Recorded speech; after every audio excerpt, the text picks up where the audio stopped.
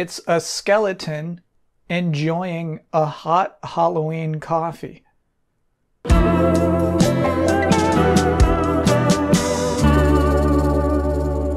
If you're worried about God of War Ragnarok spoilers as you watch this video, please don't be. I won't do any. Don't worry about that. But I did finish it this week. All done. Watched the credits. As we've talked about on this show before, video game credits are too long to watch the entirety of. These are no exception, but they did start off with a nice song. You get to the part where we're looking at the design teams.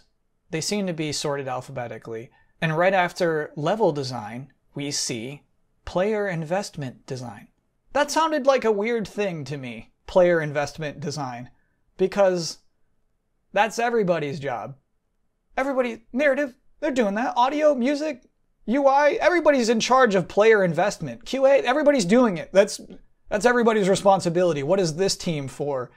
And I think we can all guess, right? I feel like we guess this is the team that's up to something. that this is the team that is in charge of the mobile gaminess of a game. That the XP, the leveling up, the random drops, just the shiny incentives for you to keep playing. Everyone else is making the donut, and then this team comes in and sprinkles some sugar on top. So the thing about God of War Ragnarok is that I love this game. My player investment was super high throughout the entire game, but almost never because of experience points. Like, I can't think of a single node on that skill tree that I couldn't wait to unlock. I can't think of a moment where I found a new piece of armor and said, oh yeah, satisfying upgrade. Oh baby, a new enchantment. Wasn't said. So what does this team do exactly? Let's find out. So Sony on their YouTube channel has put up a lot of mini docs for God of War Ragnarok that now I feel comfortable watching. Again, no spoilers in this episode, but let's see if we can find anyone from the player investment team. My name is Ariel Angelotti, and I am the senior producer for Narrative. I'm the story lead for God of War Ragnarok. And I'm the supervising dialogue designer. I'm a senior combat animator. And I'm a gameplay animator. I'm a senior VFX artist. And I'm a gameplay animator. Combat designer on God of War. I'm the art director. I am a character technical artist. And I am a senior character artist. I am the lead of the character concept team. And I'm the lead UX designer, associate UX accessibility designer, rendering programmer. I play Kratos senior producer of the gameplay team. Stuntman for Kratos, as well as a stunt coordinator. Composer. Music production lead. Recording and mixing engineer. I'm in the music affairs group. Senior environment artist. 3D environment artist. Senior staff level designer. The level designer. Lead visual effects artist. The level design producer. The animation director. Eu sou Ricardo Juarez e sou o dublador do Kratos no Brasil. Okay, so nobody. Nobody from the player investment team is allowed in the mini docs. That's okay. But I found this a PlayStation blog post from Anthony DiMento, the lead player investment designer at Santa Monica Studio. Here's our answer. The player investment team at Santa Monica Studios is responsible for both player progression and exploration content. So we made sure to put some of the best equipment in our optional areas to reward those of you who take some extra time to poke around. So we get the impression from this post that the team develops the armor perks, rewarding rewards, the skill trees, kind of what you would presume. So I think exploration content in that sentence kind of just means the things you find as you explore. But as always, the beguiling word content continues to cover a lot of ground here. So naturally, when I wanted to learn more about this job, I just Googled it. I Googled player investment design and investment design and player investment. There's not a lot of games that have this job title, apparently. You don't see a lot of people with it. I did find a few articles referencing Christopher Blohm, the lead player investment design for Halo Infinite. Here he is. The Halo Battle Pass will never be taken away from you. And what I mean by that is once you buy it, it's yours and does not expire. So you're thinking, all right, the person who designs the season pass? Probably. The most helpful thing on the whole internet that I did find is a player investment designer job listing for Bungie from January 2010.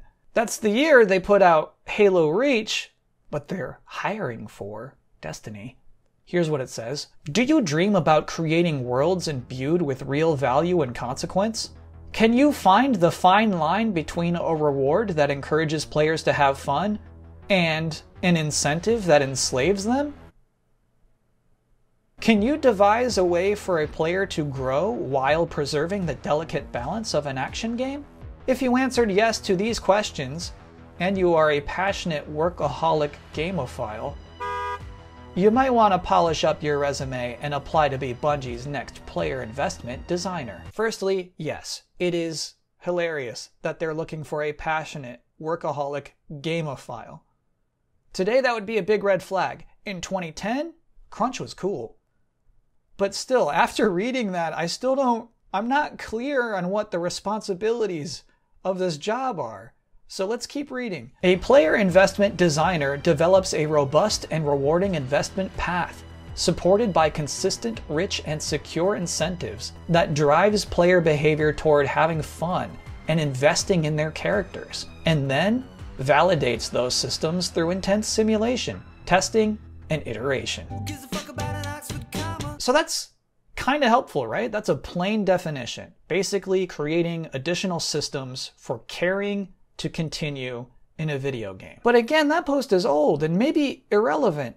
So I need a current job listing. I found one at Midnight Society, which is, of course, the studio co founded by live action YouTube cartoon character Dr. Disrespect. They're looking for a senior player investment designer for their upcoming AAA game who will design mechanics which drive in game player reward and incentives, give players long term goals to invest in the world and their character, prevent by design griefing or exploiting any of the above systems, run simulations of these mechanics based on expected player behavior, and test these simulated results against actual player behavior and tuning the live system. Alright, that's informational. We're learning more.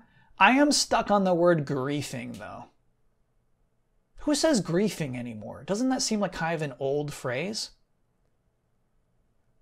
You know, come to think of it, a lot of that did seem familiar. Ah, okay, it's just copied verbatim from that 2010 Bungie post. It's just word for word. to be clear here, I don't think that there's anything particularly unethical about plagiarizing a job listing it's okay, but it is, in fact, very funny in the context of this discussion. But also, not very helpful. So I found another current job listing for Guerrilla Games Senior Principal Player Investment Designer. So they are rumored to be working on a multiplayer Horizon game, and right now they're looking for someone to help create a variety of meaningful, rich, and rewarding investment systems. We are searching for an experienced designer capable of crafting positive mechanics that drive player comportment toward having fun with others and investing in their experience in relevant ways. Ah, yes, comportment. Obviously, every delayed input viewer knows what comportment means, but just in case one of you is not sure, let's go ahead and look that up. Comportment, behavior, bearing. He displayed the comportment expected of the rightful king. Okay, so another way of saying player behavior. Wait a minute. Do you remember when Bungie was looking for someone to develop a robust and rewarding investment path? Guerrilla right now is looking for someone who will help create a variety of meaningful, rich, and rewarding investment systems. You remember when Bungie was looking to drive player behavior toward having fun and investing in their characters? Guerrilla is looking to drive player comportment toward having fun with others and investing in their experience. Once more, not exposing a controversy here, I just think it is terribly funny that everybody who's making a job listing for this already ambiguous job title is just riffing off of Bungie's post from almost 13 years ago.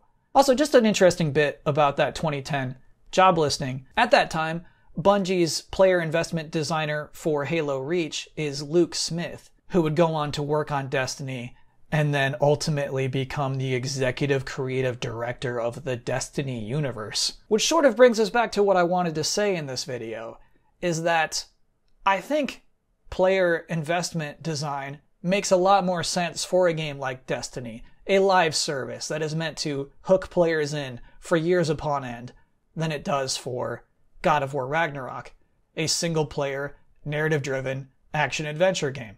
Personally speaking, just me here, just Kyle talking, I would say that was probably the narrative team that was the primary player investment designers of God of War Ragnarok. Like again, just me saying, I would say I would say the environmental team did more player investment work than the people who decided what rewards you get for doing the side quests. Christopher Judge, Kratos, and principal player investment designer.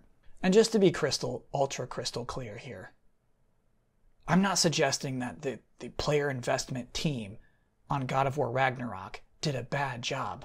Not that kind of video, Buster. But I am wondering if maybe the hooks and systems they created would be better suited for a different type of game. So, Player Investment Designer is an interesting title. I think maybe antiquated. I think maybe it's just the words I'm stuck on.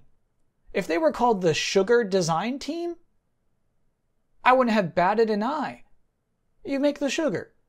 As far as I can tell, player investment design is a term made up by Bungie for Halo Reach. I can't find anyone who had that title before then. Maybe you can, let me know if you do. And by the way, just to be complete with all of this, apparently someone named Lars Bakken was investment design lead on Halo Reach. It wasn't just Luke Smith. And Lars is most recently PvP design lead on Destiny 2 and will be senior design lead on Bungie's Unannounced. So it seems like investment design is a good field to be in. Like it seems like the fast track to career progression, even if they don't let you talk too much in the mini docs. It's probably worth it. Anyway, that's delayed input for this week. Next week, there will not be a new episode. I will be in LA doing a little investment design for the Game Awards. I'll be back two weeks from now, December 16th. Until then, thanks for watching.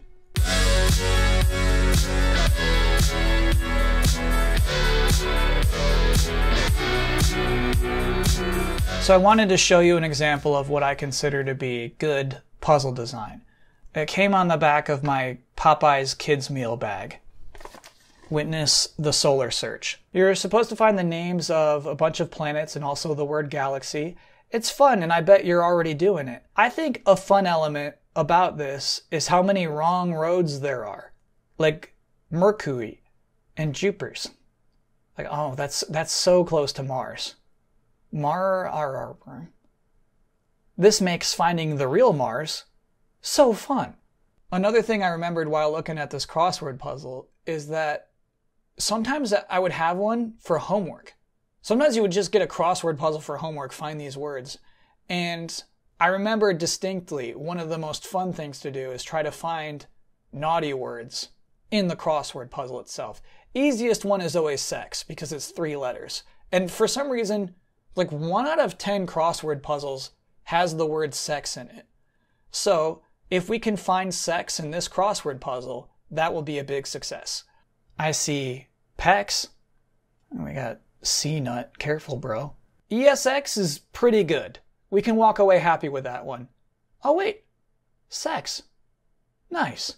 And so I give Popeye's Kids Meal Bag Solar Search a 10 out of 10.